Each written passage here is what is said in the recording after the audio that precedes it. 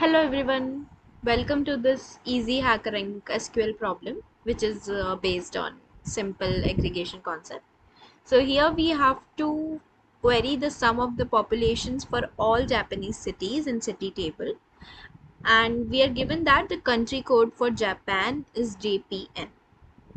So we're just given a table and these are the columns of this table and we just have to find the sum of populations for all Japanese cities.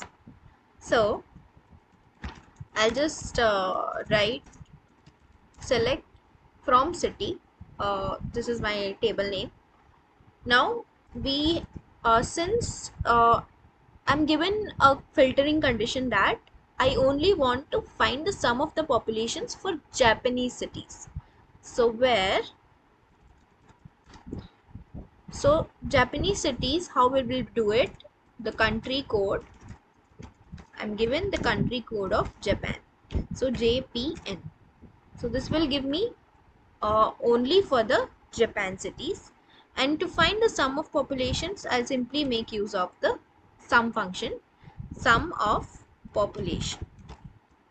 So this will give me the sum of populations for all Japanese cities.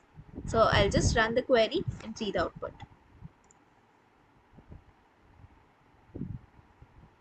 So here we can clearly see that we have got what we wanted.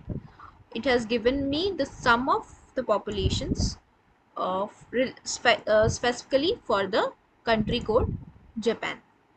So thank you.